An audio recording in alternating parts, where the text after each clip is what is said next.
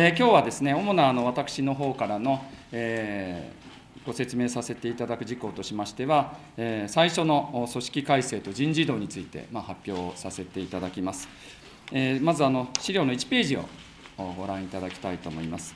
えー、今回のもう組織改正、それから人事異動のポイントということで、えー、1、2ページに書かせていただいているところでございます。えーまあ、大きくはチーム福井一丸となって新たな県政を強く進めるということでございまして、えー、県民主役の県政を進めていく体制をこれで作っていきたいということでございます。6月1日付の人事異動を予定しているということでございます。ポイントといたしましては、まずあの女性活躍ということで、えー、女性の管理職の割合を、まあ、過去最高の14.7%とさせていただいてます。昨年12.2%で、率で書くとこうなりますけれども、えー、52人を62人ということで、おおむね2割ぐらい、えー、女性管理職が、まあ、増えているということでございます。まあ、その上で、またあの私の県政のですね推進する要となります市や町との共同、それから県民活躍、まあ、こういうところにも女性の副部長を起用するということを、え、させていただこうと思っております。それからあの若手の積極起用ということで、えーまあ、本庁の部長は8名いるんですけれども、そのうち5名を、えー、新任者にいたしまして、えー、平均年齢も1.5歳若返りを図っているところでございます。それからまたあの地域戦略部、まあ、これはあの作っていくということは、先日の部政条例の中で、えー、決めさせ決めていただいているところでございます。この中に全体のこれからのですね長期ビジョン、それから人口減少対策、こういったものを中心になって、司令塔となってやっていく未来戦略課を設置をいたします。それからあの島地の支援ということを今まで、島地の振興課、島地振興課でしたっけね、今までね。これをあの一緒にやっていこうということで、島地共同課ということで、えー、課を名前を変えていきますし、またあの県民活躍課というものも作っていこうと思っております。それから、えー、あそれから地域戦略部はあの課をですね充実させて大きな部に変えているところでございます。それから交流文化部につきましては、えー、観光営業部、まあ、観光と営業ということでございましたが、もっとあの交流全般ということで、文化やスポーツを通じたですね交流人口、それから県がいろいろやってます、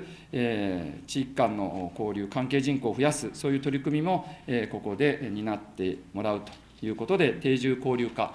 これもこちらに移しているところでございます。またあの、新幹線開業に向けて首都圏の PR、こういったものも充実させるということで、新幹線開業化を新設をいたしているところでございます。それから霊南振興局の強化ということで、えー、まずあの霊南振興局でものが決められるということをしてまいりたいということで、本庁の部長を経験している、池田さんを局長にしていくということで、またあの、ここでものを決めて執行ができるような枠予算についても6月補正の中で、作っていきたいということで検討しているところでございます。また、あの、霊南プロジェクトの推進室を新設いたしまして、観光誘客、こういったことにも力を入れていきたいと思っているところでございます。それからあの徹底現場主義ということで、私、あのえ、選挙戦でえー、訴えさせていただきました。まあ、そういう意味で、えー、私がですね、まあ、私だけで、えー、徹底現場修行するということではございませんので、まあ、職員全体でですね、これを進めていくという意味で、まあ、あ束ねるというようなこと、要は、えー、県民の皆さんの声を聞かせていただく、それはまあ職員を通じて聞くこともありますけれども、まあ、こういったことをですね、え、全体として、えー、前に進められるようにということで、知事公室を総務部の中に新設をしまして、秘書課と広報、校長課、特に校長をですね、充実させてやっていきたいと、えー、よく県民の皆さんからお話が聞けるような体制にしていきたいということでございますし、またあの、えー、秘書課、知事公室長と、それから秘書官の政策参事というスタッフを置きまして、まあ、私の政策立案をですね、サポートしてもらう、まあ、そういうようなことを考えているところでございます。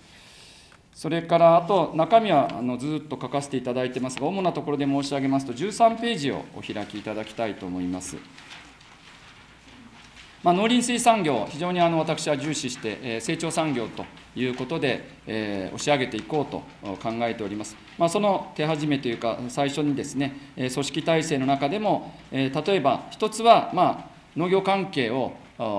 部門別にですね、分かりやすく整理をしようということを一つさせていただいたことと、またあの、え、農業をですね、さらに、えー、拡大していく、成長させていくという意味で、流通販売化の中で輸出の促進、販路の拡大、こういったことに力を入れてやっていこうと。いうふうに考えているところでございます。まあ、JA なんかともタイアップしながらですね、輸出の促進、外に向かってですね、販路を開いていくことをも重視していきたいということでございます。それから19ページをお開きいただきたいと思います。私の政策のまあ一つのポイントとして、市町との共同ということを言わせていただいておりますけれども、この中で一つには、嶺南地域のとの関係強化ということで、嶺南地域から各市や町からですね、県庁に対して人材の派遣、ま、こういうことの要請を受けておりますので、ま、これについて、答えていくということでございます。まあ、これはあのすでに霊北でも行ってますので、えー、そういう意味ではですね、えー、県下全域でですね、要請があればできるだけ、えー、必要とされている人材について、えー派遣を強化していこうというふうに思っております。特に嶺南の市町、今回は力を入れさせていただいております。それから、市や町の職員の確保を支援ということで書かせていただいてますが、今ですね、あの例えば災害なんかが起きたときに、全国的に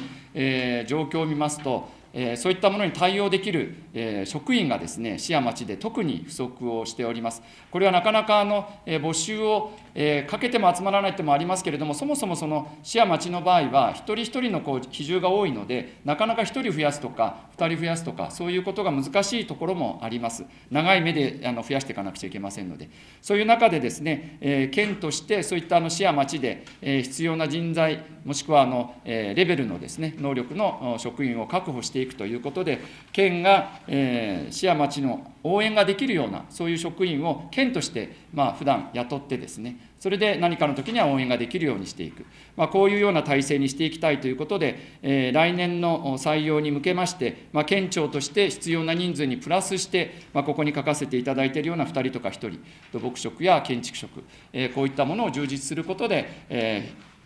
大切な時にですね、人を派遣するとかいったことも、えできるようにしてまいりたいと思っております。一方で、今度はあの市や町の力もお借りしたいというふうに思っておりまして、え防災先進権福井の確立と書かせていただいてますけれども、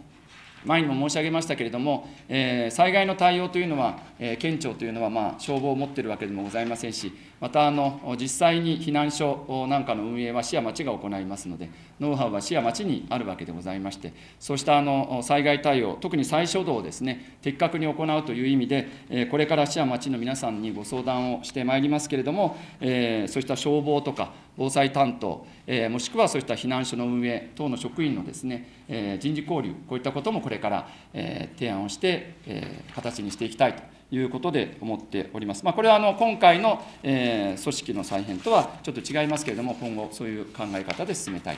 ということでございます。一応、私からの発表は以上でございます。